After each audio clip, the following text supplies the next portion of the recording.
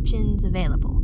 Hmm. Can I help you? Yeah, I want this, but I'm not totally clear on the difference between leasing and financing a spaceship. Well, it's just like leasing or financing a new car, except this car happens to reach 50,000 miles per hour and can navigate in outer space. But other than that, it's exactly the same. Right, right, right.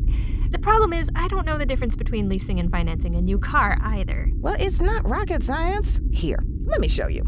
Leasing a car is like agreeing to rent it for a fixed term of three to five years. You pay a deposit, you make monthly payments, and at the end of the term, you return the car and can start the process over again with a new car. Financing a car means buying it with the help of an auto loan. You pay a deposit, you make monthly payments, and once the loan is paid back, you own the car. In general, leasing payments are lower than financing payments. Whoa, whoa, whoa. Leasing means I get a brand new spaceship every few years and payments are lower? Sign me up. Ha, not so fast, Space Cadet. You need to understand that your monthly payments are designed differently depending on whether you're leasing or financing. When you're buying a vehicle, your monthly payment goes to repaying your lender plus interest.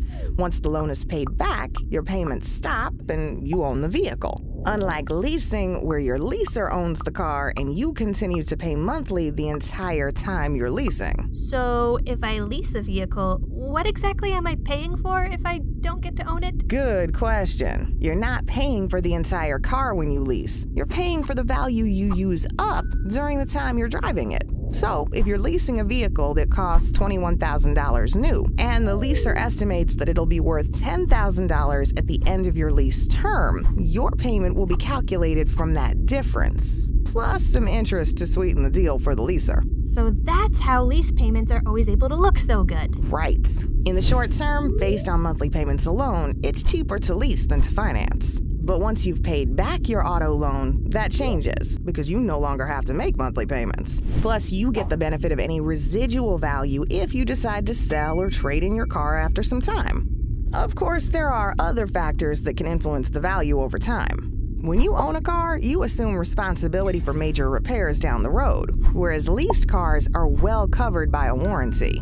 But leasing can come with all sorts of surcharges like mileage overages, excessive wear fees, and lease cars often have higher insurance rates too. It all comes down to what's important to you. Some people prefer to drive a new model every few years, even if that means limiting their mileage. Others prefer the freedom of ownership and being able to drive as much as they want and customize their vehicle however they want. What sounds good to you?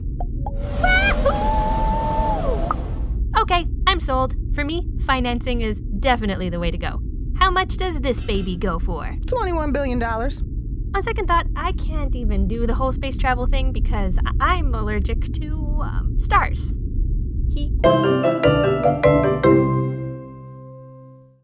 Okay, well, how much does this spacesuit go for? 25 million? Just the helmet. 6 million? This random tube thing. 1.5 million. Is there anything in here that's in my price range at all? We have freeze dried ice cream in the gift shop. Sold!